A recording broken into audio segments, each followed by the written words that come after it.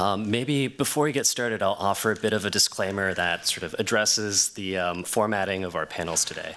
Um, so we've structured the panels in a bit of a different way. Um, we've kind of like opened this up to a kind of more fluid, larger dialogue rather than speaking directly towards the um, the panelists' work in more of kind of a formal lecture format. So um, we're really excited for the conversation that's going to come out of this, and yeah.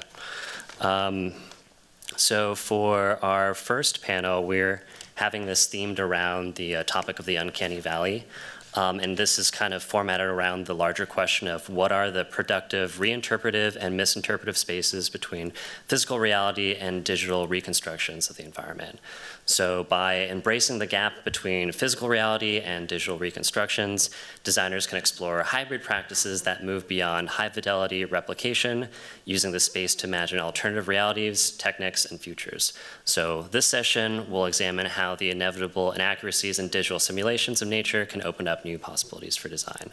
So today we're joined by two panelists, Karen M'Closkey and Joe Paradiso, and we're moderated by Andrew Witt. Um, Andrew Witt is the uh, Associate Professor of Practice and Architecture at the Harvard Graduate School of Design, um, teaching and researching on the relationship of geometry and machines to perception, design, construction, nature. Witt is also the co-founder with Tobias Nolte of Certain Measures, a Boston, Berlin-based design and technology studio that combines imagination and evidence for systematic and scalable approaches to spatial problems. The work of certain measures is in the permanent collection of the Center Pompidou, has been exhibited at the Pompidou, Barbican Center, Futurium, Haus der Kulturen der Welt, among others. Additionally, Andrew Witt's personal work can be featured has been featured at Storefront for Art and Architecture, and in 2017, certain measures were finalists for the Zumtobel Award both the Young Professionals and Applied Innovation categories. So Andrew is the author of many books that include Formulations, Architecture, Mathematics, Culture, Light Harmonies, The Rhythmic Photographs of Heinrich Heidersberger, and studies in the Design Lab. He's a fellow of the Canadian Center of Architecture, a MacDowell, a Graham Foundation, Harvard Data Science Initiative grantee, and a World Frontiers Forum pioneer, as well as a Young Pioneer and a 2015 nominee for the Chernikhov Prize. Um, I'd love to hand it over to Andrew Witt to give an introduction to both of our panelists. Great. Uh, so I'm thrilled to be involved with this panel and just generally uh, this this symposium. I think it's a very timely topic and a topic which I think uh, will have some hopefully fresh conversations around. So I have the great pleasure to introduce first uh, Karen M'Closkey. So Karen is an associate professor of landscape architecture at the University of Pennsylvania's uh, Weitzman School of Design. She's co-founder with Keith uh, VanDerSys of PEG Office of Landscape and Architecture and co-founder with Keith and Sean uh, Burkholder of the Environmental Modeling Lab, or MLab, at Penn. Their work focuses on the opportunities and limitations enabled by advancements in digital modeling and how the assumptions embedding uh, in assumptions embedded uh, in our methods and tools shape our understanding of landscapes and environments. Uh, their work has been acknowledged through numerous publications, exhibitions, awards, uh, including a Pew Fellowship of the Arts uh, and Analysis and Planning Awards from the American Society of Landscape Architecture, and World Landscape Architecture for their work uh, in the Galapagos Islands. They're authors of uh, Dynamic Patterns, Visualizing Landscapes in a Digital Age, guest editors of uh, LA Plus Geo and LA Plus Simulation, uh, Karen is the editor in chief of uh, LA Plus, where she currently is editing three volumes on the themes sense, environment, uh, and media. Uh, she's co curator and co editor of the symposium exhibition and book Design with Nature Now. Uh, and with her MLab colleagues, she's uh, convened the symposium Instruments of Change in 2022, out of which grew a volume edited by Karen and Keith. Media Matters in Landscape Architecture, which will be out this spring. So with that, we'll turn time over to Karen.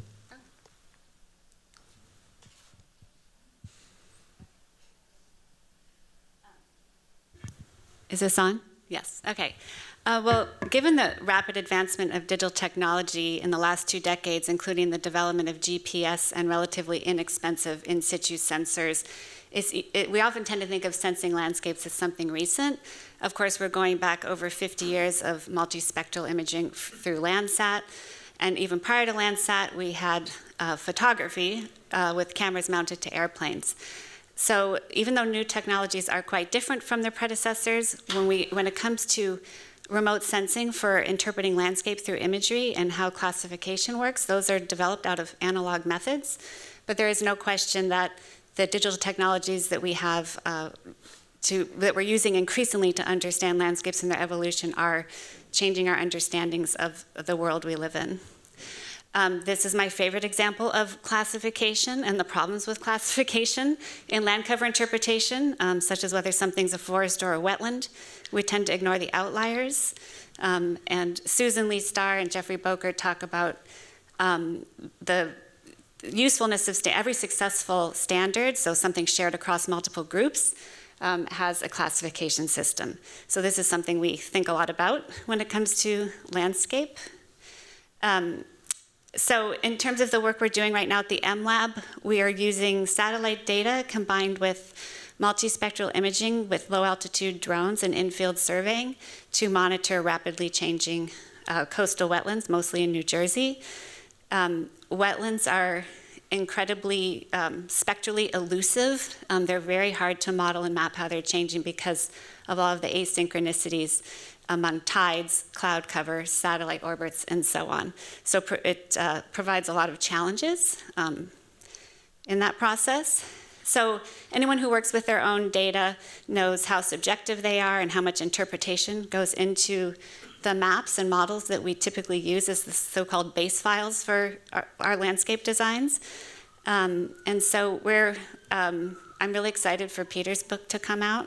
and uh, we're very fond of Jennifer Gabrys's work, um, who talks about sensing not in terms of established subjects with prosthetics or where environmental sensors provide new environmental knowledge to established subjects, but rather how sensing changes the relationships through which subjects act. Um, so on a practical level, you, the use of these tools allows us to bypass the limits of existing data sets, um, to understand landscapes over time and to keep working with them over time. But obviously it opens up much broader questions about the production of environmental knowledge. So how we collect data, how we interpret data, um, shape our landscapes in ways that are as um, significant as bulldozers and pipelines, but much harder to see how they do that. And now, of course, with climate change, um, it's bringing levels of uncertainty that we're really just beginning to grapple with.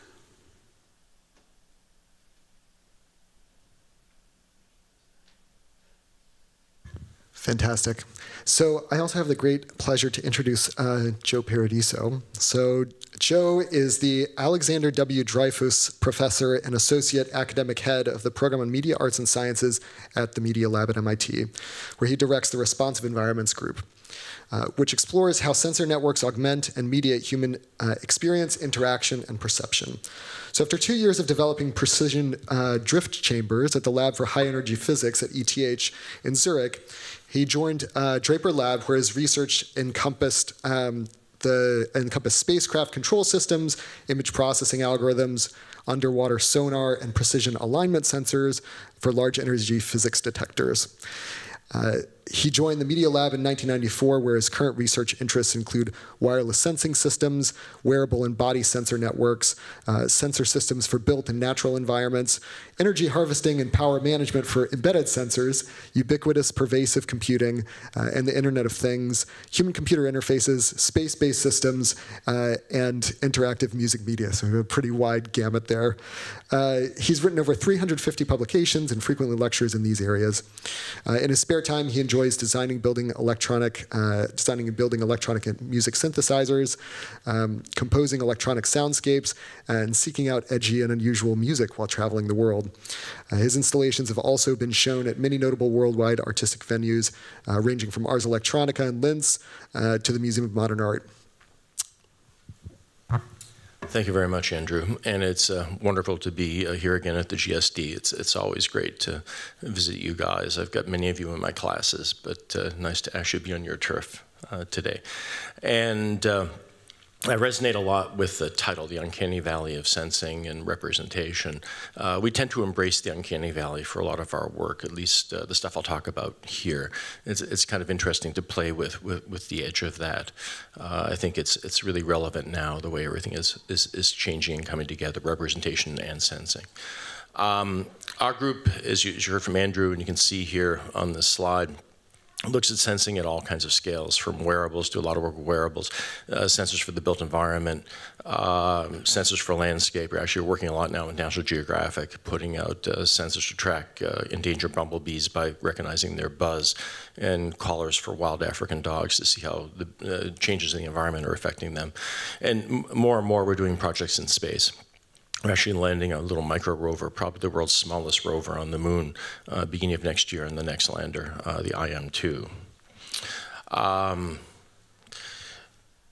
it's intriguing now to think about sensing getting everywhere, how that connects to people in different ways. Uh, this is a cover uh, story of Scientific American that I wrote with one, one of my students in 2015 when we've been driving virtual worlds with sensor data for a while. And it's kind of intriguing to think about how perception just expands by, by tunneling into all this sensor data uh, and, and really widening what you perceive, changing the whole definition of the here and now. Uh, we did a few different projects. The one I'll talk about here uh, is our Tidmarsh project. Uh, just uh, south of Boston is uh, the community of Plymouth. Many of you know it. a lot of the cranberry industry in the state was uh, centered there and in southern Massachusetts. Uh, one of our, our, our, founding faculty, the Media Lab, Glorianna Davenport, co-owns a large 600-acre cranberry farm there, and she has turned it over to uh, conservation working with Mass Audubon. And uh, most of the landscape has been transformed into a natural wetland. So to grab uh, a capture of this, we decided to put sensors all over the place. We built our own network. We put sensors all over to capture this whole thing of restoration as it was going on. You can see you know, different networks, sensors of all kinds. We built our own embedded sensor that could measure you know, soil properties because it is a wetland, but also measure lots of other things. We put in microphones and we put in cameras and uh, all kinds of other things. Uh, but you know, we, we worked with wetland, hydrologists to understand what was happening through the data, but we also use this information to tunnel into virtual worlds. So this is a video of the virtual Tidmarsh. There's even music here, which I don't know if you can hear in this, in this audio, but we love making music out of the data too. There you go. So the music comes from the temperature and the humidity uh, and the location. Uh, of course, it's an avatar landscape uh, already. This is about uh, 10 years old. If it rained, it rained. If it got cloudy, it got cloudy. Sunny, sunny. We had different ways of looking at the landscape. Uh, so you, know, you, can change lenses. We had animals that would uh, basically live off the sensor data and change their appearance depending on whether it's been hot, humid, dry, so on and so forth. And uh, we could change the musical mapping and the visual mapping. This is a different musical mapping done by Evan Ziporyn um, with one of my students. Evan's a composer at MIT.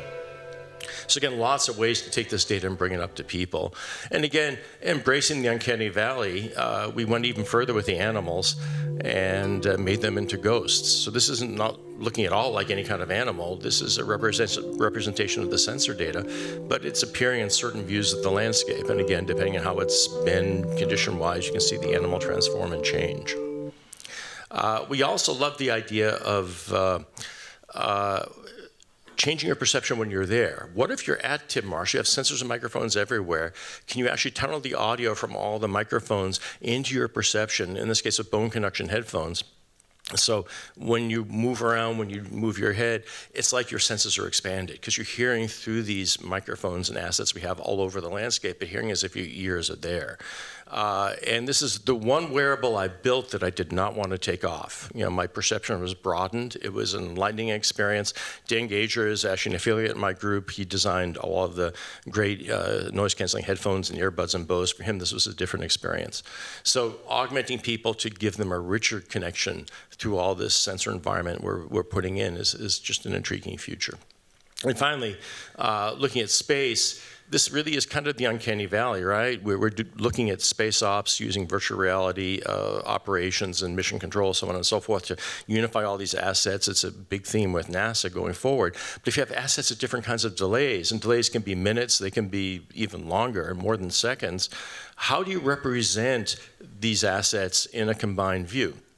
And uh, we thought about one way is to think about you know things that are yet to to happen because there's delay. It may have already happened, but you haven't gotten the information back. Is ghosts. So you see different possibilities. Reality can fork depending on what the autonomous system decides to do, and eventually you project it and move forward. You project down to what you know and, and keep extrapolating. This is one of many ways. I have a student now from the ESA uh, in Cologne working with me uh, for the next months, trying to think of different ways to represent uncertainty because of delay in these shared mission environments. So that is very much, I think, an uncanny valley. And with that, I'll turn it back to Andrew. Thank you. Great. So one of the topics I think, um, Joe, that you've sort of like hinted at, this notion of sort of like ghosts or maybe phantoms or even hallucinations, also something that Peter's very interested in is sort of like the the invisible. How do we sort of like um, connect with the invisible? Also suggests to me this sort of like strange space um, that we enter when we create these sort of data reconstructions of nature, which are you know, partially intended to be these sort of like eidetic, I don't know, like a replica almost, like a maybe a replica, not exactly a replica, but maybe like a model. But at the same time, they take on their own kinds of valences and associations and interpretive possibilities. And so this sort of like uh, deer that's sort of, a, you know, maybe not a ghost of something past, but maybe a hallucination of these sorts of combined, um, combined stimuli it's we're in a different space. We're sort of in the space of, of fiction or in the space of um, imagination, and that's one of the things I'm very curious about in both of your work uh, is where is that sort of like threshold between almost like data gathering, the sort of like um, diligence and fastidiousness around that, and the space of constructing a fiction, the space of constructing an imagination, uh, the, conspa- the space of constructing possibilities uh, of a future of a future with that data. Where's the space essentially between sort of like um, monitoring and fiction and speculation? Um, well, I think from our introductions, you can see how different the work is that we do, and um, when I appreciated what Peter talked about in terms of invisibility.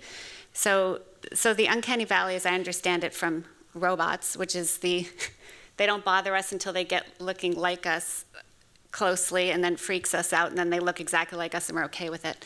Um, but you know, if that creepy robot was your nanny, maybe it, you would be acclimated and acculturated to it in a way that it would not disturb you. And I think that's the part of um, technology that we're interested in, those things that become invisible. Um, so Peter's discussion on invisibility is really important. But just to go back to what you're asking about the the kind of sensing, I think um, when for landscape we tend to take things. Um, point sensors, sensors in the field, and extrapolate them into spatial information.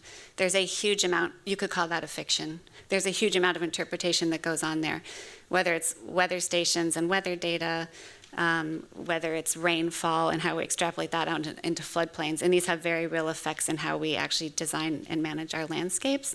Um, so one, um, Geoffrey Morrow wrote a great article on, on weather stations and how so much data interpretation is based on distinguishing between signal and noise. So that's what's interesting about that animal that's sort of disintegrating into the environment is like where does the animal begin and where does environment, uh, where does the animal end and environment begin? So I think there's a lot of potential um, in those technologies for, for disturbing our um, what we understand as animal and environment. That's amazing work. So, um, but I think that when we're looking at how we're trying to understand things like weather patterns and climate change, trying to distinguish between signal and noise is is breaking down. Um, and we, I mentioned uncertainty. We actually don't know how to trust uh, some of those interpretations and extrapolate from point data into spatial data. So there's a lot of room for artists and designers to play with that gap um, in different ways. Yeah, I agree with what, what Karen's saying at, at several levels. Um, artists and designers are going to be playing, a, I think, a huge role in bringing all this up into our perception. Uh, you see a little bit of what uh, we heard previously with uh, documentary film. I mean, you know, the footage by itself is what YouTube presents is just moving, and then of course somebody can take that and channel it through a documentary and, and present a narrative through it, and uh, that's a bit what we're playing with. With these, what we, we call them avatar landscapes, right? They're landscapes that, that represent the real world, but they're not quite. There's, there's audio here. You can turn it down if you want. Uh, this is a, a, thing where we have microphones in the real world that would tell into the virtual world. When you were nearby a microphone in the virtual world, you'd hear the real world, but we distorted it so you wouldn't snoop. Whole other area, uh, you know, surveillance and, and, how this this relates. Um, but uh, when we did the animals, um, you know, the, the first rendition that my student Don did of the animals were uh, th those deer you saw in the original video, right? They looked like regular deer. They were an asset in the, the graphics program he just used. Uh, and you could change the colors and stuff. But we want to go further, right? You know, people would ask, is that deer really there? Are you measuring the animal? And you could kind of, you know, fake it, but no, we're not doing that at all. Uh, we're using this as a visualization tool, a way to look at the past. You look at somebody's lawn, it's all brown, they haven't watered it, maybe that's a good thing in time of drought. But, you know, nature has its own way of representing its history through its appearance. So we figured, okay, in the virtual world, can we go further and do that through an apparition and make the apparition such that it, it you know, you can relate to it. It's kind of like an animal, but you know, its appearance changes drastically in ways that if you know about the program, you can intuitively interpret. So you look at these things, you know how the weather's been or how the conditions have been. You can, again, tilt it to look at different things. Just an, another tool, another way of bringing the data up to people in a way that could be obvious when you're looking at it. Um, but doing it in a way that is a bit poetic. It plays what should be at the landscape, but pushing it into a, a different place. Yeah, I like this. I like this idea of an apparition because it suggests something that somehow emerges from almost almost the data itself. And it strikes me actually that in many of these cases, there's this sort of like um, this struggle for tangibility in this sort of space that we we're trying to understand the behavior more intuitively for. And uh, you know, part of that has to do with you know. To, to go back to um, a topic that Karen alluded to, this notion of signals, right? So all of these sort of um, uh, sort of channels that we're beginning to, to detect and beginning to sort of stitch together constitute signals. But those signals, you know, every signal can be modulated, every signal can be sort of transformed, every signal can be sort of like remixed, as you know, from sort of like um, digital, uh, the digital audio world. And so those also, you know, signals can be corrupted. They can have um, they can have flaws. And so one of the things that I think is really remarkable about this moment is that nature itself is becoming a kind of signal. Nature is becoming a kind of media, and then we begin to sort of like represent and reflect on it in these um, uh, in these in these other kinds of ways. And so I'm a little bit curious, kind of like you know, there are obviously sort of like strong and dominant signals, which obviously are those are the ones that tend to be sort of like um, most easily communicated. But I'm sure also in your work, you you find through this these kind of like classification processes and some very specific attention that there are some weak signals, some things which are kind of like emergent, which are kind of like not quite at the moment of sort of um, clear clear apprehension, but that have some significant thing to say actually about this space that you're monitoring. I'm curious about those sort of like weak signals, those of like areas of emergence, those of like areas of um, that are somehow like on the threshold of being visible um, that you've encountered recently. Well, so again, if I talk about that question through the work of the Environmental Modeling Lab, um, the signals we're using are spectral signal spectral signatures. So using multispectral cameras for reading things that we can't see uh, with the naked eye. Um, and so, of course, advancements in technology from multispectral to hyperspectral just like gives you more and more so-called fidelity for how we understand and sort our landscapes.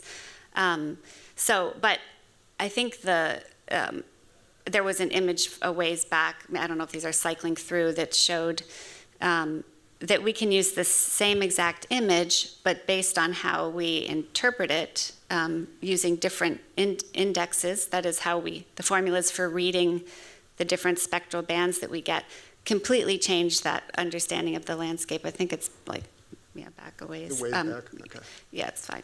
Um, so anyway, it, but it shows, um, you know, if we, we're looking for moisture, it completely depends on what formula you're using to look for moisture. So you can see, see two images that are the same image, just interpreted with a different index, really changes our reading of a landscape, which would really change what you think, where you think water is, and things like that.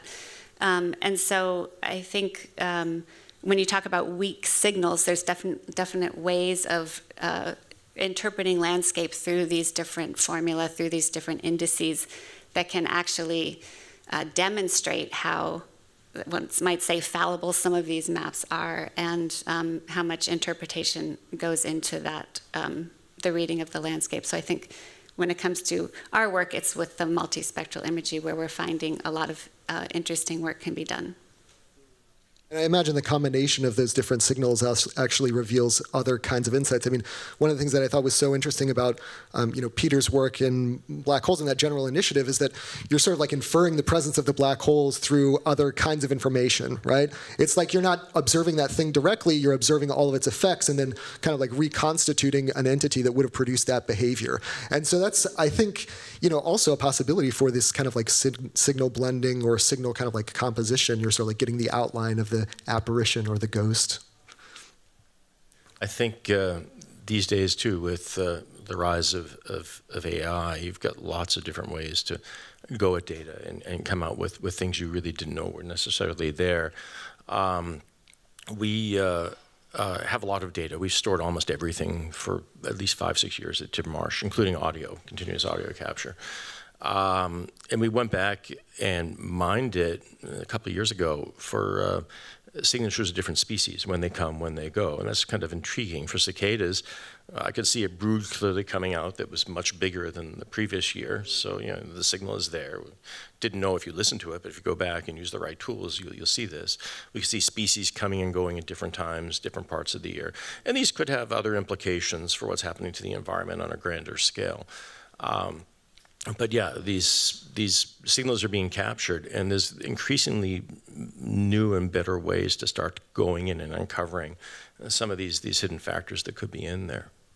Yeah, and I think what it's I think it's appropriate that you sort of mention this question of AI because I think we're also at a moment when uh, sort of categories or understandings of intelligence are expanding, not only through artificial intelligence, but also our expanding under understanding or of human intelligence or even sort of like plant communication, for example. I mean, like for example, when you know elephants and dolphins have names for each other, then the sort of like sine qua non of human intelligence, this idea of language, is something that's not not quite so precious. And so, I'm a little bit curious actually. So as you're engaging with these kinds of um, with these kinds of processes has has your kind of like understanding of human intelligence in relationship to these other potential kinds of intelligences changed or is uh, or how also do notions of intelligence or intelligibility sort of influence your work that's one of the deep questions of our time in so many ways. I mean, how do these systems enhance us uh, and, and, don't just tunnel us into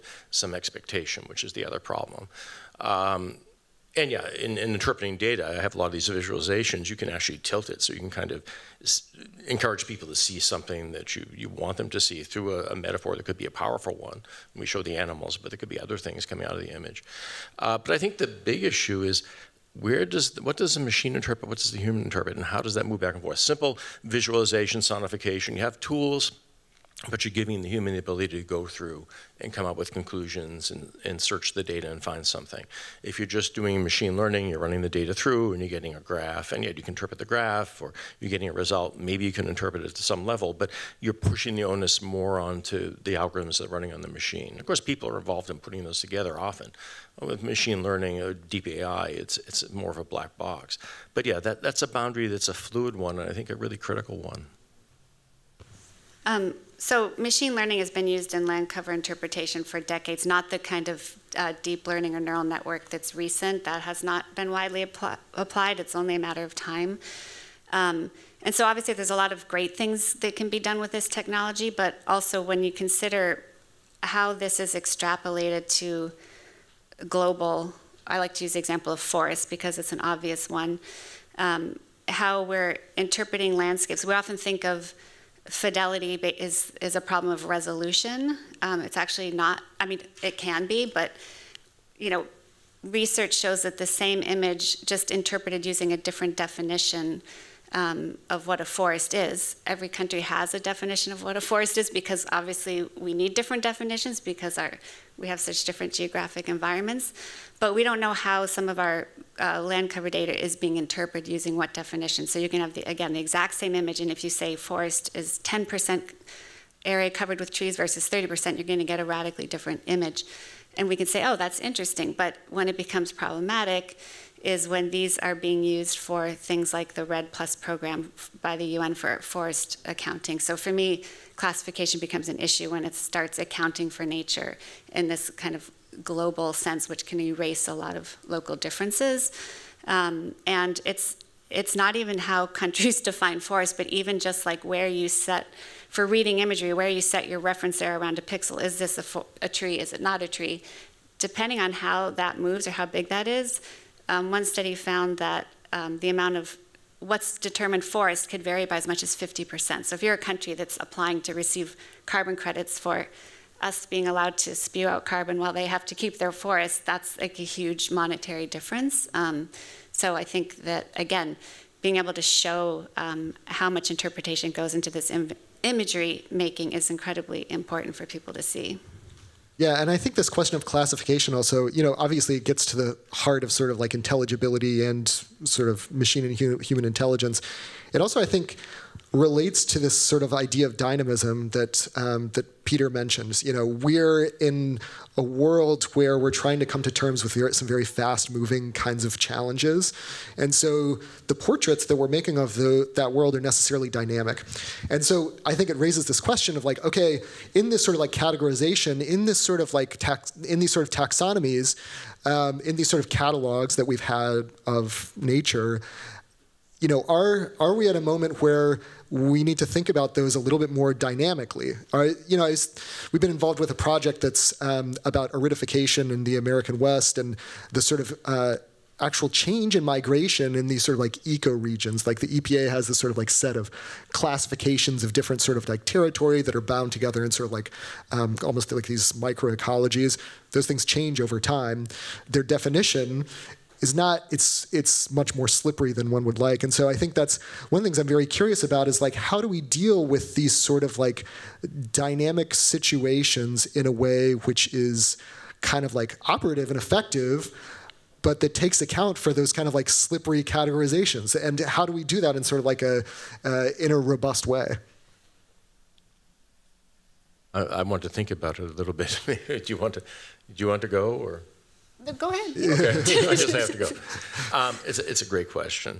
Um, I think there could be multiple ways, uh, the way a scientist would do it, right? There are multiple ways to look at the data. There are tools you can use to try to validate it. There are different opinions that can come through uh, and be represented in the data. I mean, I, I, I myself was a physicist, as Peter was, and uh, we used to have multiple analysis chains that would work on the same data and the multiple experiments at the same collider looking at the same thing. And we'd have to, within a group, converge the analysis chains. And then, you know, you'd all present your result. And if the other groups didn't see the result, you know, maybe you made a breakthrough, maybe you didn't, but there would be a scientific debate. Yeah, it becomes a kind of collective intelligence as opposed it, to sort of like a unitary thing. Yeah. It does. And I think uh, when we present data to people, of course, then, you know, you can start getting uh, different kinds of propaganda and trying to sway opinion in a more basic level, we see that all the time. But uh, ideally, giving people enough insight into the data, some sort of idea of who it is that's presenting this inter interpretation to you. These are all critical. I mean, it's, it's a, another battle for reality, right? But now done at the level of the actual information we're seeing, and we have everywhere augmented reality, we'll be, we will be dealing with this with physical perception itself. I mean, this, this could go very deep in, in many different ways. Yeah, and I think I think there's this, and maybe I'll sort of like tee up some uh, some comments. I think there's a really interesting way in which all of the kinds of methods that we're talking about are they're inherently collective. I mean, they're collective in the sense that we're collecting a lot of data and we're looking at sort of like very large scales and territories, but at the same time, we're drawing on expertise of a whole range of different um, you know, ways of understanding that environment. And those contested definitions actually emerge from a conversation among many, many different perspectives. And so there's, there's an inherently collective kind of understanding uh, of I think real-time nature that that you are both sort of like manifesting in your work, but I think is going to become more and more essential as we move forward. Just to go back to your word dyna dynamic, um, which is an incredibly important one, especially for landscapes. Um, I think the challenge is how we've understood our environments and landscapes is through what's called stationarity. So we understand that they are dynamic, but we assume they're so from within a certain uh, like in a little box. So drought equals this, flood equals this, and everything in between. Now we know stationarity is not really a great way to understand what's happening, especially with rapid climate change. And that's, we actually don't have good ways of, of dealing with that or working with that when it comes to things like building our infrastructure. So I think these tools have, are providing just amazing insight, bioacoustics, just um, these time-based media are giving us different kind of access to these worlds, to these other worlds um, in amazing ways. Um, but when it comes to um, things like how do we adapt to climate? How do where should people live? Where do they move? We actually we're not doing a very good job of that, of understanding that, um, because it's incredibly difficult to um, have a frame that um, for knowing what's going to happen under such high levels of uncertainty. So, again, making um, that evident to people. It, there's a lot of interesting studies about how people feel about floods and flood mapping. Um, and whether showing a gradient, um, whether showing the ambiguity is, is kind of psychologically positive or negative, and it honestly depends on what experience people have had with floods or not. Um, so our, our, the FEMA flood modeling maps right now are going towards more and more gradients, more and more specificity because the data we have on topography is more refined, more and more accurate. But topography is the only thing you can make more accurate in how flood modeling works. So it's actually having the opposite effect. It's actually removing people from the floodplain by saying they don't need flood insurance, when in fact um, that's probably not what's going to happen. So there, we still um, are having difficulty trying to square what we know about the variability of our environment with um, how we build. It's a huge challenge.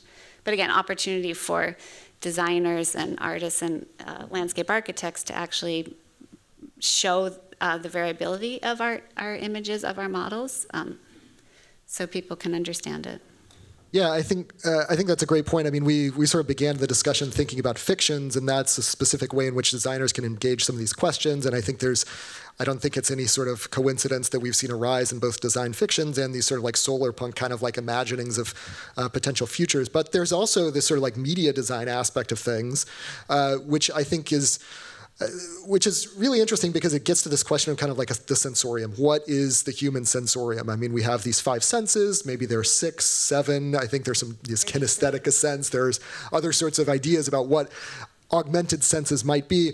But what we're trying to communicate is something that eludes many of those senses. And um, you know. I, I think you know that's something obviously that I think both of you are trying to engage in some ways. Like, how do you kind of like um, how do you hack or augment or sort of otherwise um, you know wire our senses into this kind of um, this kind of understanding when you know obviously we're not sort of like built for it and so i'm curious about that process of sort of like sensory augmentation then on the horizon this sort of like question of kind of like how other entities might might sense. I think this this idea of kind of like non-human sensoria is something also that anyway we'll return to. But I'm curious, how do we sort of like yeah, get our senses to the point where we can begin to intuitively apprehend this incredible complexity?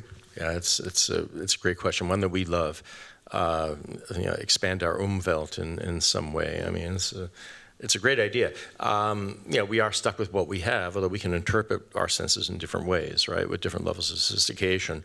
Some things you can maybe plasticize and get a feel for if you live with it. You know, we work a lot now with haptics and other things. I have a student that's really kind of specializing in, in this now for control problems and things like this, giving you a feeling for, you know, an AI's intent or who knows what, some other thing that's not physical, but bringing it into some manifestation. Um, but quite often these things are just hassles and you'll take it off because you just don't want it. The, the distraction of this expanded environment that tends to be something that just irritates you. Get it to the point where it really works, where it's giving you that kind of information. Uh, sonification is intriguing for us too, because that if you're looking at something, your eyes are just focused on it. You get a lot of parallel information. It takes immediate attention. Um, but you can also have background things going through audio, especially, right? Where you can actually hear uh, how something is evolving and you can recognize a certain uh, timbre, a certain kind of a tonal quality, or, or mm, it could even be a melody. Who knows what it is, right? So that's kind of intriguing to think about your eyes and your ears and putting them both where they're kind of optimal when you're looking at data and reviewing it. Uh, even ambient media, right? We can connect to a landscape like we did with Tidmarsh. People are doing it with video all the time, right? There's all landscapes all over the world now. Suddenly you can look in real time kind of anywhere to these amazing places uh, and you hear the audio from it. But can I take that audio and then turn it, or these sensors, and turn it into something that's a, a piece of music that I enjoy, but it has the flavor of the place that it's tied to? This is just intriguing for us, and sound artists have looked at this for, for decades. But now we can kick this up to a scale that we've never seen before because there's so much of it, so many tools to put this together into some sort of an aesthetic. Uh, it's, it's kind of intriguing at that level, functional and, and aesthetic, both. And they can come together, but when they're separate already, it's, it's just fascinating. So we're not working with uh, sensors in that particular way. I, I do think there's um, a lot of interesting examples of how we can tap into the senses of others, even though we don't. We know that we can't really embody what it's like to be a shrimp. Um, but Karen Bakker's book, Sounds of Life, is really great, and also um, Gaia's Web, which is coming out, um, just came out, um, offer amazing examples of what bioacoustics and all of these tools, listening to nature, listening after nature, um, provide us. Um, so there's no question this is changing our sensibility about what's going on in things we can't see with our eyes. So I think there's lots of potential there. And I always have a but, but the, uh, you know, the DARPA, the military PALS program, persistent aquatic living sensors, are also using those uh, shrimp and grouper signals to try to learn from those signals to understand when there's like underwater foreign craft. So um, there's always, you know, nefarious purposes, often why these technologies are developed, developed in the first place, but as Peter shows, you put those in the hands of someone else and you can tell completely different stories and different things. So you can be listening, you know, with empathy or for pain or listen for very different reasons. So I think, again, there's a lot of really great positive work being done. Yeah, I think that's, oh, sorry, go ahead. Uh, very quickly, I, I, don't know if you guys are familiar with the work of the composer David Dunn. Uh, he does amazing work where he puts sensors into trees to pick up, you know, insects that are eating in the tree. For instance, uh, he puts sensors underwater, microphones all over a landscape. But he'll do a composition with it that will go on for an hour, where you have an insight to a space, which is either stuff you cannot perceive, but you suddenly hear, I don't want to call it a symphony, but a whole you know, structure that evolves over a day, which is, you know, these, these things eating the leaves in a tree or wood borers, whatever they are. Uh, or you hear a landscape like a lake in California like you've never heard it before because he's got these microphones and he's mix he's not just bringing them up he's mixing them actively to give you a portrait of this place which is not what you would get with your eyes and ears. I mean it's it's just fascinating what a great artist can do just with the signals either the ones we normally perceive use them in a different way or the ones we don't perceive. And he's a great example yeah, it, it, reminds me actually a little bit as I was researching for this conversation. Um, I ran across, across, the fact that Alexander Graham Bell, after his work on the telephone, he created a, a and the photo phone was also intended to sort of like transmit voice or sound um, over long distances, uh, but it did it purely through light, and so it was possible to transmit, you know, this sort of like signal during a sort of like clear day, but even on a cloudy day, you would begin to hear that um, that ambient sound, and so let's see, he there was this amazing quote that he um, he he wrote his father, and he says, "I've heard the articulate speech." Of sunlight, I've heard a ray of the sun laugh and cough and sing. Uh, I've been able to hear a shadow, and I've been uh, I've even perceived by ear the passage of a cloud across the sun's disk. It's just like something incredibly poetic about that. Um, you know, at the same time, it's like there could be a process of misreading, of mishearing, and of course, this is, I think, also a very interesting space um, uh, for design. So, I, I want to sort of like maybe shift gears slightly, and um, what, when are we supposed to wind up? Okay, good. Okay, good. So. Uh, they we sort of like alluded maybe tangentially to this idea of interspecies communication and speaking of sort of like underwater creatures i'm reminded of this um, this anecdote of um, animal, animal Farm. So Animal Farm, many of you may be familiar with. There's this sort of like experimental architecture collective from the 70s. This project called the Dolphin Embassy, where they were trying to communicate with dolphins, and they got a grant actually from California to to to build some device that was supposed to communicate with whales. And so there was this media event where they got, you know, many of the sort of like local news channels and Jerry Brown, then the governor of California, um, who we also saw previously in the presentation, was going to come to this, I think it was like Point Reyes, somewhere in the Bay Area, and um, and sort of use this device. And so one of the reporters was like, "Oh, I hear Jerry Brown is going to talk to dolphins today," and um, uh, the guys from Ant Farm were like, no, the dolphins are going to talk to him.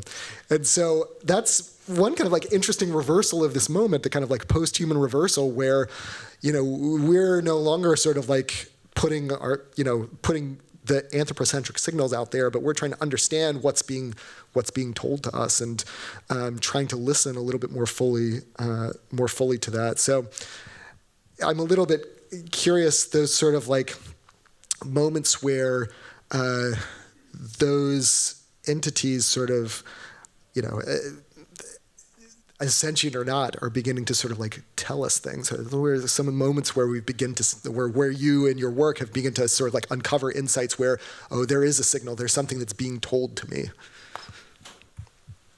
I think it's it's fascinating. Um, it, it's a different game. I mean, people have been trying to communicate with uh, marine mammals for sure uh, you know, certainly, you know, birds of various sorts, things like this, uh, primates over the years. Uh, but are they really telling us what they would normally say? I mean, the umwelt of one of these animals, uh, mammal, maybe closer, marine mammal, quite a bit different.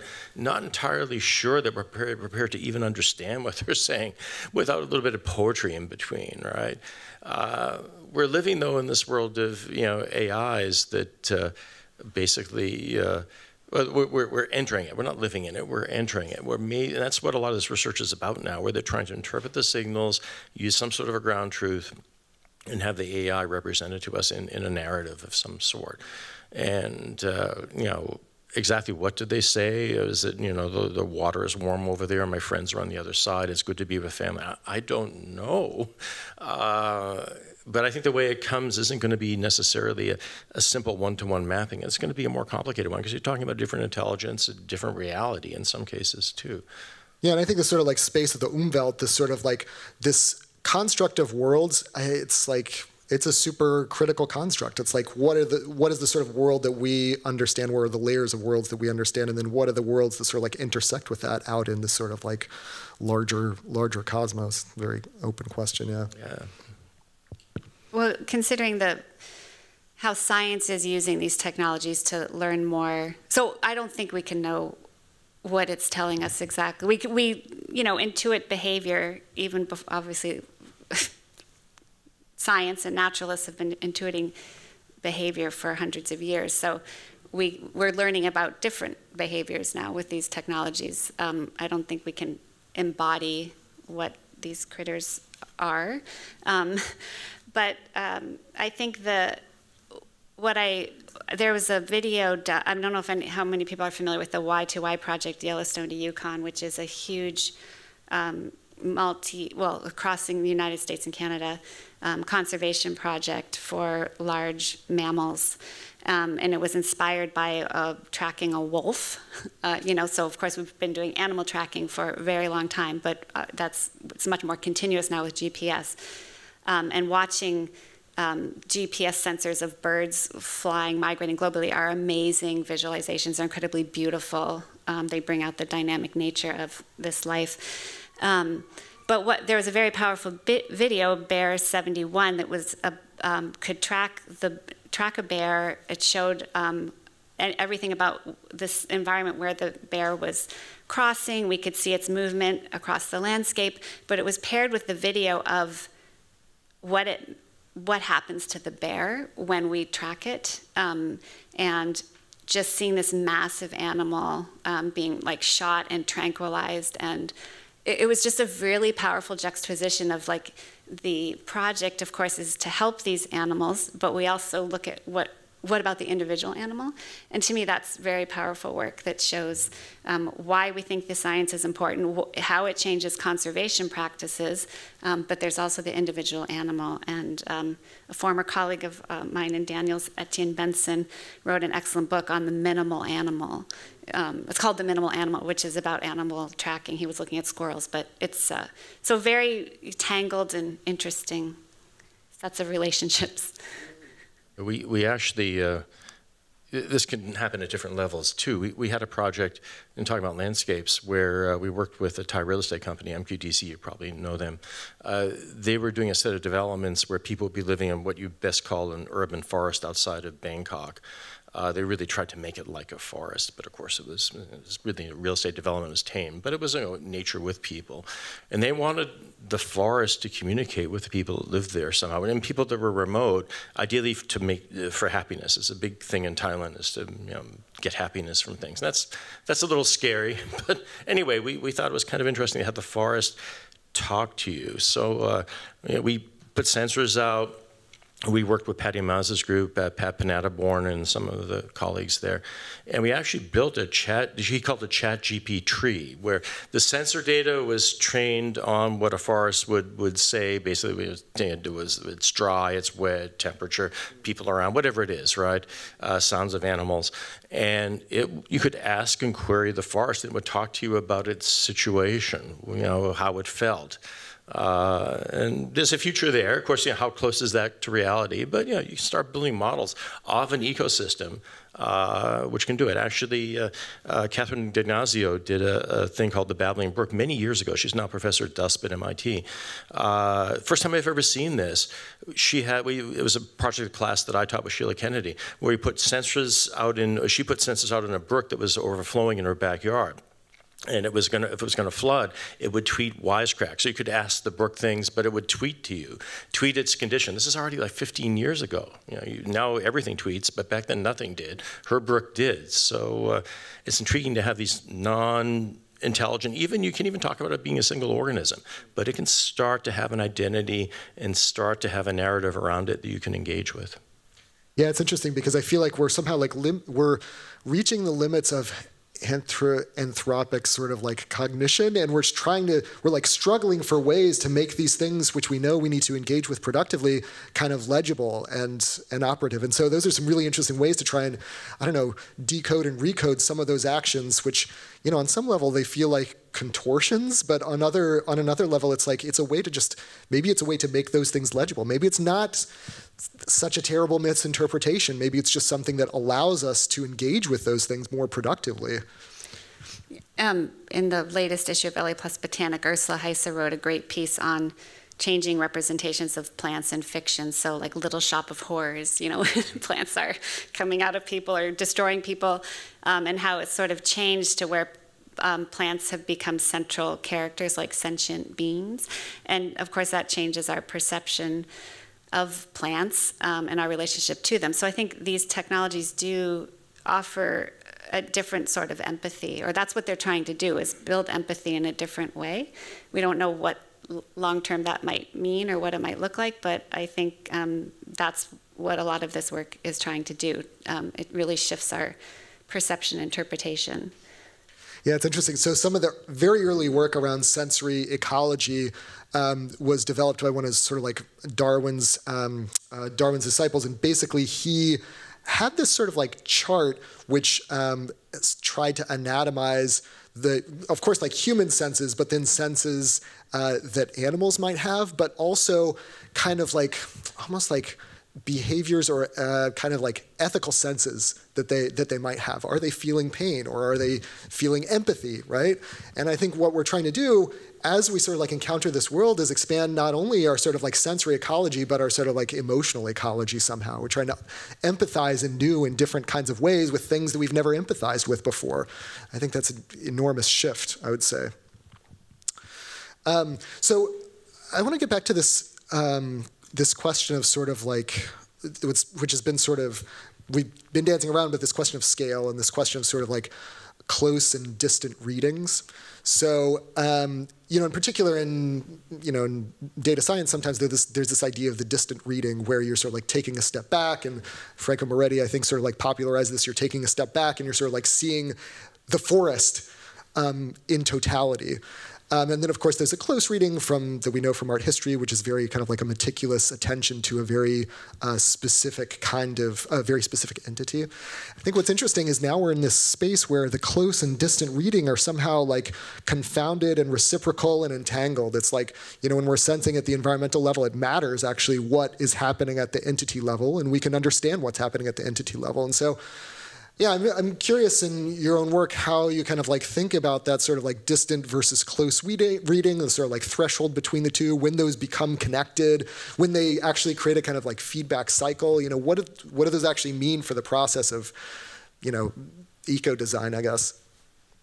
Yeah, no, I totally agree with you. This kind of local global is not a binary, um, and it's not even a, a a gradient or scalar. It's totally simultaneous. It's like a process. A yeah. yeah. Um, so, I mean, I, I, you know, I, talked about spectral signatures uh, in reading Earth observation imagery, but those spectral libraries that house the wavelengths were all taken like with in-field samples. So the, they were taken in very specific locations by scientists with a particular question. They measure the wavelengths of that plant leaf uh, a, within 48 hours of being plucked and then stick it in the spectral library. And that library then um, becomes used um, to interpret landscapes other than where it was taken.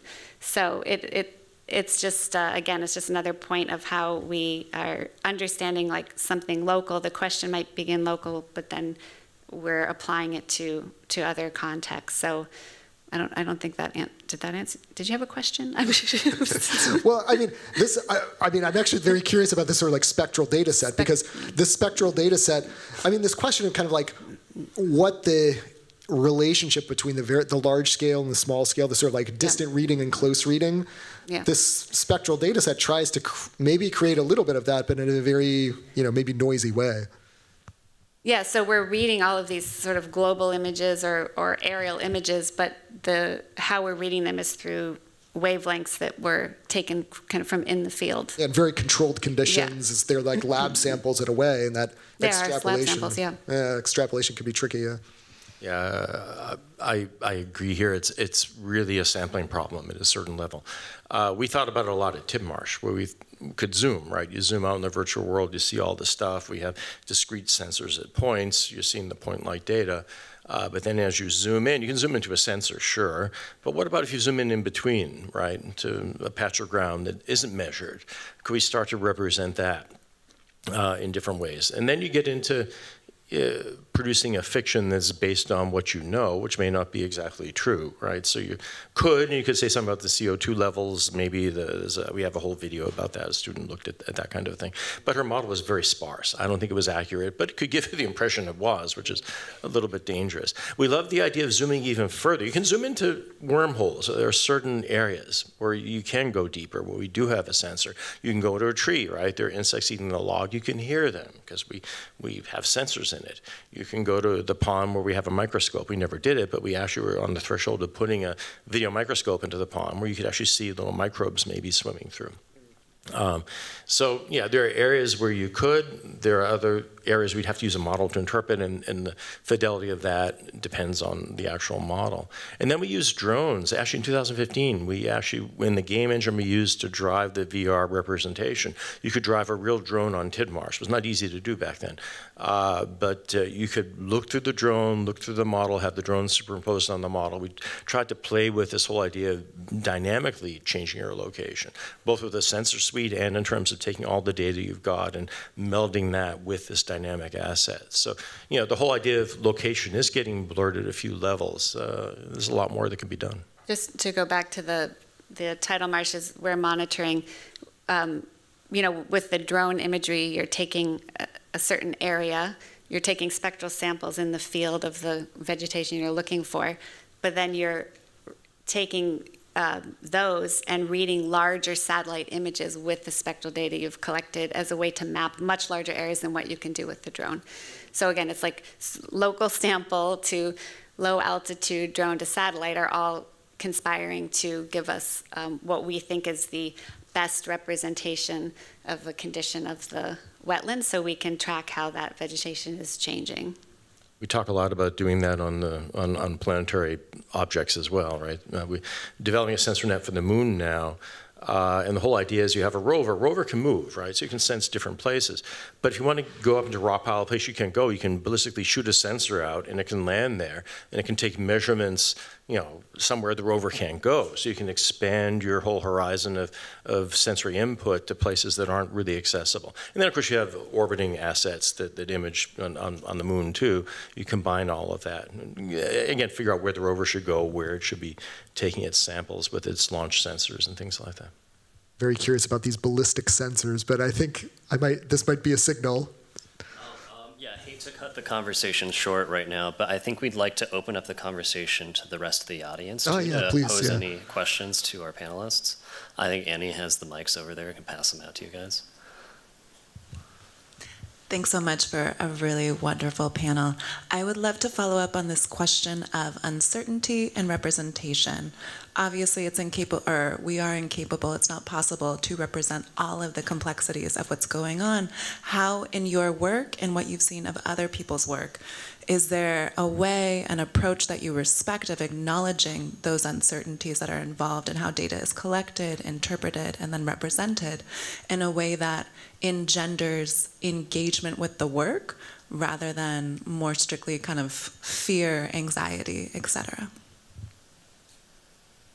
Um, that point about not stoking fear and anxiety is a hard one. Um, so if you look at, say, the IPCC reports on climate, they talk about the level of uncertainty and like when will we reach this threshold of warming? And they say we're 80% sure we're 90% sure. When you're talking about something that's sort of open i think that doesn't i mean besides climate anxiety causing us immense, immense amount of pain it those reports um, talking about that level of uncertainty i think is understandable uh, for people in an easier way than when you're talking about uncertainty, for example, when, as I mentioned earlier, kind of mapping our floodplains um, with understanding like where rainfall is going to go, where we're, um, how we're going to move people or build our infrastructure. And unfortunately, the timelines through which we build, through which things are funded, are not long enough um, for us to really think broad and bold. So um, our infrastructural plan is all building infrastructure that's going to be out of date um, because it's built on kind of old models. So, so to answer your question about um, uncertainty, I do think it's very important to be um, forthcoming about our best laid plans as landscape architects. You know, you, we work among private entities, public entities, governments, and we like to present things and here's our design and we're sure this is going to be beautiful and, and it will work. But i think we're at a point now where um, it's just more helpful to um, work through the various scenarios underlying our assumptions in terms of the timeframes we're looking at and all the variable conditions that um, which is that you're trying to steer towards certain trajectories. We don't know what the endpoint's going to be. And that's an incredibly challenging challenging problem when you're thinking about infrastructure yeah, and uh, most of what we do where we try to present a, a, conclusion, we have error bars typically, right? So you have a plot, you have some sort of assumption what the error is, and you show it physically on that representation. If you look at a virtual world, it's a little harder to do that. Um, one thing we thought about would be sliders, right, where you could look at a range of assumptions that are possible within this model. And you can explore yourself. It may be a most likely, but you can actually push it back and forth and see. Um, the uh, other thing of disclaimers and the uh, the person that, that, did this really nice thesis uh, with carbon models and our census of Tidmarsh and a great visualization. Yeah, I was uncomfortable with it because people would have the impression that you know we're really measuring this to some degree of accuracy. I had her put a disclaimer in there. So in her thesis, that you know this is using sparse data that probably doesn't really reflect what's really happening. Gives a rough idea, but we're not going to stand by this at all. This is just to show what's possible. So uh, I think all these levels, it's important, at least in the academic community, as we go forward. Uh, is this a piece of art for aesthetic? Is this saying something that you want to get an interpretation out of? In which case, you know, put the boundaries on it. Or if it's quantitative data, be really clear about the error the way we all have to be. I mean, I think it's really interesting also to think about the distinction between uncertainty, as in kind of like engineering error of measurement, and uncertainty of application for the data, right? Because I think when data is produced, it's often produced with a specific sort of like intention for its for its use. Uh, but I think one of the things that's been kind of you know remarkable and difficult and scary and amazing about um, the sort of like deep learning revolution is that a lot of that data has been been misused, at least according to its original intention, right? I mean, the whole of the internet's text was never intended to be used to train these very large models. And so that's a kind of like very, you know, challenging space. It's like how do we sort of like anticipate the uses of data, guard against the ones that we have some reservation about, but enable the ones which um, which we hope for and which we may not anticipate, but which may align with our sort of values. And I think it's it's a very it's a very challenging thing. And one other way, um, I wouldn't say this, we're explicitly dealing with uncertainty, but a lot of the work we're doing right now is um, monitoring, uh, meaning that Army Corps has a bunch of sediment. Instead of dumping it in a landfill, they're like, where should we put it? We want to build up some marsh habitat for birds. Um, you, you, you're making best guesses, um, and then it's basically a multi-year experiment. So you put it there, you monitor it, things move around. So there isn't the expectation that you have the answer. It's actually much more dynamic as a process. We're living in the experiment. Yeah. And, and, wetlands are intriguing because they absorb a lot of CO2 when they work. Not all of them do. Some of them emit CO2. And the actual mechanism by which this happens and how you can structure a wetland when you're restoring to do it, it's not that well understood. We've worked a lot with collaborators, and, and they would put sensors in that would be more accurate than ours, but to a certain specific location, whereas we went for the broad measurement. But they were able to use our data as well, which was, was nice. I think it's my turn. Um, thanks so much. Such a such a rich conversation, and, and I think some issues, of course, that will uh, play out over the day. And uh, you know, in particular, just this kind of last bit. Um, I think around the question of sort of use and misuse and critical or, or commercial misuse and how we begin to think about the relationship of art and design and other sorts of cultural practices relative to these you know, military and carceral technologies, basically, right, as, as noted.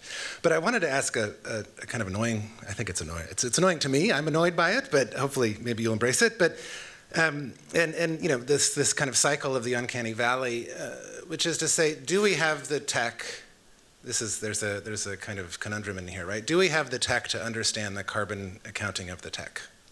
Uh, right? I mean, which is to say, all, uh, how, all of this sensing, has a cost, right? Uh, I mean, I'm thinking, you know, I'm, I'm, still sort of floored by the reopening of Three Mile Island by Microsoft to power their AI, et cetera. Is there a way that we begin to, to um, think pretty carefully about sort of what we need, how much we need, when we need it relative to these carbon emissive costs, or does that even enter into any of the equations that are going on in your, in your teams and your research? Um, the tech for accounting for carbon, are, do you mean carbon removal or just all carbon budget, including like forests? I just mean that the technologies that we're using, yeah. sensing and AI, emit carbon, right? I mean, in most. In, no, the answer is no. You don't have the tech to monitor no, the tech. Yeah. Cor- well, yeah, um, I would say the answer is no because of the uh, at certain scales, of course, we have the tech. We can sequester it in the ground. There's lots of things we know we need to do, wetlands and protecting them, all sorts of things for storing carbon. But in terms of trying to account for how much our landscapes can hold carbon, we do not have. Sorry, I, am actually asking if you're if you're taking um, one of the sensing projects that you're using to understand the, the health of the wetlands and its yeah. various characteristics those sensing devices and their computational uh, ramifications are carbon hungry, let's say, right? And, and we could talk about the electrification of the grid and, and Yeah. da, da, da, we could do all that.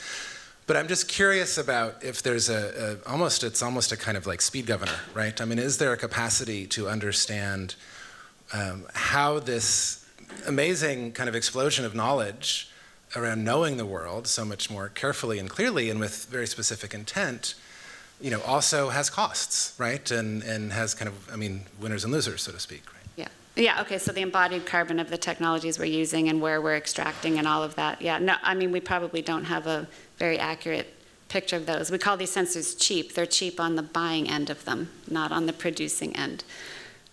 I think uh, you, you hit on something that, that has a lot of pieces you can untangle. I mean, people say something is sustainable. I've done lots of projects. People I've been on thesis committees. People doing sustainability. Okay, you're looking at a certain horizon, but what does it cost to make this, to manufacture it? Do you account that and bring that in? I mean, there are so many levels. It's very complicated. I think if you look at the kinds of sensors that we use, at least for, for our terrestrial applications, um, they're pretty minor. They can harvest energy. We do a lot of energy harvesting stuff. Power is minimal. You don't really have to replace batteries, at least depending on what the sensor is. Uh, compared to what we use in smart homes, it's nothing. So I think it's just a level of scale.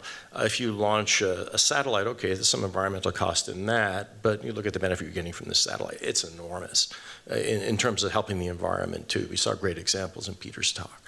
Um, so you can argue that. AI, whole other story there, because you've got massive data servers. There's such a demand for this, and an increasing demand. You're going to have more of them. Certainly, we're there's Dennard scaling. We work really hard at pushing power required by these GPUs and and huge farms down. But you know the demand is just huge. So what do we do to mitigate the energy cost of computation? That's not just about analyzing the data from environments. It's about our life.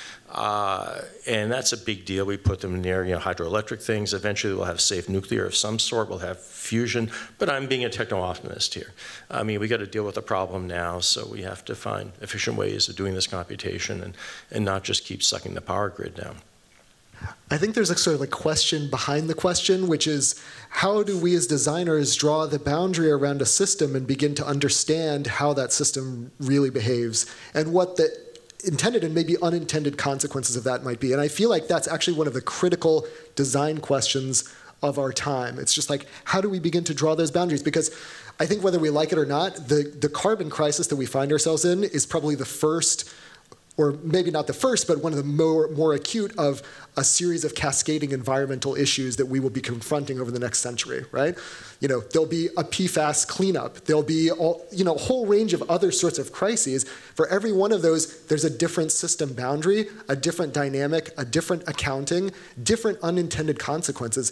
And this question of kind of like how we design for the contingency of unintended consequences, it's a blank area in design. Nobody talks about it. It's like it's it's a void, right? And I think this is one of the things that, as responsible designers, we have to begin to ask: is like, okay, well, as we centrifugally move out from the thing that we think we're designing, what are all of the other things that this impacts, and how do we begin to sort of like think about where things could go, where things would, could go wrong? I mean, how do we like candidly ask ourselves that? It's it's something that's I think super fundamental to to our time, something that we have to take responsibility for on some level.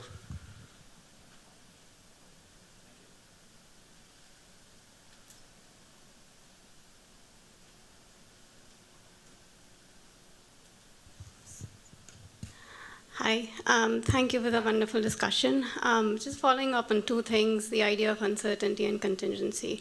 If you were to remove it from the idea of risk and start looking at un uncertainty as a way um, to, as a, the potential of uncertainty for change, um, I would like to hear your thoughts on that. So the potential of uncertainty for change. Can you unpack that a little bit, actually? Sorry. Um, so I'm thinking of uncertainty as um, as a way. If you look at it through climate or technology, um, how an uncertainty can allow a space for a newer imagination, right? So I'm looking at so want to remove it from the idea of risk for a moment and think of it as a potential. So because you don't know what would happen, many things are possible and uh, kind of embrace that in that okay, this is adding a richness that if you know for sure what's going to happen, you know, the, the, this, this asteroid is going to hit the Earth. we know it to 99.99%. We're, you know, we kind of know. Uh, but uh, climate change, okay, people argue about it, it's certain. We, we know it's happening. We know it's going to have deep effect. But we don't know exactly what they would be and when they're going to roll out, right? That, that's fuzzy. Um, I don't know if I'd embrace that. The call for action is people tend to you know use uncertainty as an excuse not to do anything, which is the wrong thing, right? All the uncertainties that are there in something like this are not pointing in the right direction for the most part. So uh, yeah, we we have to think of what to do, but because there's uncertainty, we don't exactly know which would be the most important, what to mitigate, what to do. We have to kind of cover a lot of bases, and that leads to creativity that leads to advancement, that leads to new ideas that, that could be beneficial in general, uh, but it also leads to, you know, lots of other activities. So it's, it's nice to be in the middle where you have some uncertainty, but you kind of know what you got to do. Uh, at least in this, the, you know, uncertainty is in many realms. You're just talking climate here. This is an example. But. I liked how you framed the question of decoupling uncertainty and risk, which is an incredibly difficult thing to do um, based on how, well, we are a risk society, and once statistics came into play, that's how everything has been um, framed for us. So, to me, I don't. I obviously do not have the answer, but that is the question: is how to decouple uncertainty and risk. That's a huge challenge. Yeah. I mean, I think it's interesting that the moment when we begin to create sort of like data portraits of societies, of economies, of epidemics, and so forth, like the late 19th century, this is a moment when we also begin to think about scenario modeling, and we begin to think about what those, what the possible futures emerging from that data uh, could be.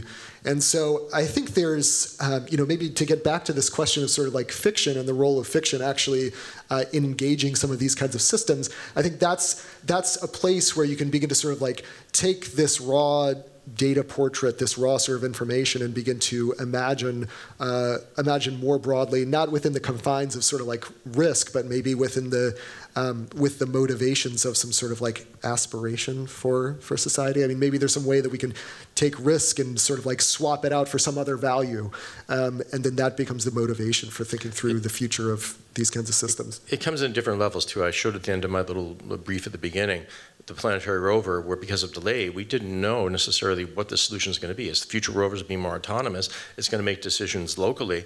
Uh, so we can forecast fictions of where we think it could be based on what we know, but we don't know which one. So presenting, you know, the operators a panoply or a set of possible futures, and then trying to converge that as you get more data.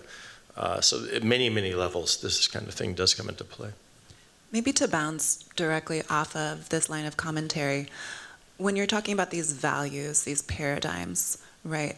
I'm curious if we're talking about shifting, decoupling uncertainty and risk together, that's a question of shifting that paradigm that intrinsically links them together to begin with. One piece of changing those paradigms is representing, visualizing their impact, right? It's not the change itself, but it's a starting of the conversation, a continuing of the conversation. In your particular practices or in other people's work that you've seen, is there reference to those paradigms? Some people call them socio-technical imaginaries. There's lots of ways of referencing them, of how they impact both how we frame what is, what has been, and what could be. So it's also a way of talking about these connections between past, present, and future when we're trying to understand how we affect change in the environments in which we live. Yeah, it's a really interesting question because at that moment you're making something which is not a design proposal, but it's a sort of like artifact for reflection and kind of like critical critical understanding, which has many of the same kind of like characteristics of a design proposal, but it has a different sort of intent, right? It's a, it's intended to sort of like organize a debate and sort of like focus questions around particular sorts of you know issues and possibilities and contingencies. And I think this is sort of like you know the sort of like critical artifact is something which is um, you know, from this data, we can make projections, we can make plans, we can make proposals, uh, but we can also create these sort of like critical moments which are intended for other kinds of uh, reflection and hopefully to sort of like expand the range of places where we might go after, to sort of like force a conversation about where we should go.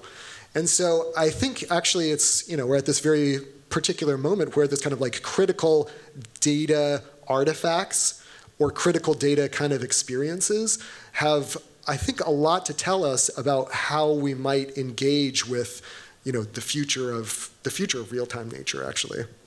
Yeah.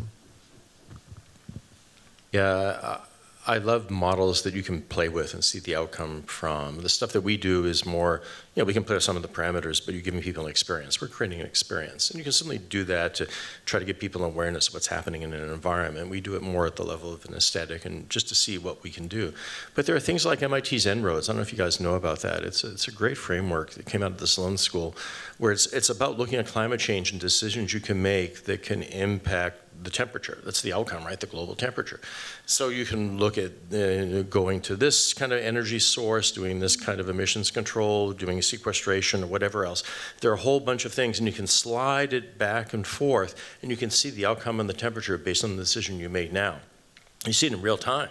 So you sit there and play with these sliders, it gives you graphs, and you can start to look at what decisions you make now can result in in the future. Because it depends on a model. It's using assumptions. It, it leads you through some of that. Uh, but it's great to be able to actually play with these ideas and see what the outcome can be. And it's not using sensors so much. It is using data that's coming in. Uh, but I think that's, that's kind of an intriguing idea, to give people a framework where they can actually play with their assumptions and see what would, would happen. Yeah, I think your question is about the community of users. So obviously when you're talking to oceanographers, the kind of models you're talking about are very different than a tangible model where you can see how your manipulations change topography and water flow, which is a much more intuitive understanding of, of process and change, um, like a slider. So I think, um, you know, how these tools are used or which particular ones are dependent on the community of users. Um, and as I think as designers, um, practitioners, artists, you are working with many different kind of groups, and so I think your approach to the, the tools or question hand really changes depending on who it is you're in conversation with. Yeah. Coming out of the work we did in Tidmarsh, actually, one of our, our students actually did a, a thesis based on, she developed a tool. I pointed her to En-ROADS and inspired her. Uh, in the end, it was a simpler tool, but it was dealt toward land developers, looking at cranberry farming, restoration of wetlands, a landowner has to make a decision. Do I restore this to a natural wetland that can have some uh, environmental uh, benefit, or do I sell it to uh, you know a developer that, would make a commercial development there? And, and, there are all these different financial as well as economic and environmental factors, and they all they have a financial reflection too. So you can look at it as a financial choice because sometimes it is more beneficial to restore it, right? Because you get credits of various sorts, things like that. So she developed a tool to look at that choice of what am I going to do with my land based on you know uh, whatever data you had about the land, about the landscape, things like that. So tools like this to aid in decisions that could have environmental consequences, and an individual has to make that choice, uh, are going to be more available. Again, they depend on the assumptions that go in, but you can play with them and kind of see what the outcome is. But I, I, think there's this there's a moment where some of those decision support tools actually become worlds. So we talked a little bit about the Umwelt and the sort of like notion of um, these many sorts of worlds. Actually, you know, at this specific moment, we have the possibility of thinking about microcosms, sort of like mini worlds, in a way which is, uh, I think, really suggestive for thinking about the future as well. And so when we're thinking about sort of, um, when we're constructing these data proxies, we're also constructing sort of like mini worlds. We're constructing sorts of microcosms where you can have behaviors, where you can sort of like play through actions, where you can um, imagine almost not only interactions, but maybe like emergent societies. And I think that's going to be an increasing part of actually what designers do is think about microcosms or these sort of like, you know, worlds in which we can test behaviors, our own personal behaviors, but also the behaviors of many other natural and artificial agents and see how they begin to combine and influence that world. Yeah, I think in wrapping up this panel, just want to say thank you so much to our um, moderator and panelists too in providing such an engaging and thoughtful conversation discussion. Um, thank you guys so much. Really appreciate it. Thank you. Thanks so much. Thank you. Um, a few notes. We're going to break for lunch right now. Um, we'll invite all our participants for lunch behind the golden curtain over here. Um, and for everybody else, um, we'll have a workshop hosted by Farzine at 1, just in this area here. We hope you can all um, participate and come. And then we'll continue on with our second panel at 2 p.m.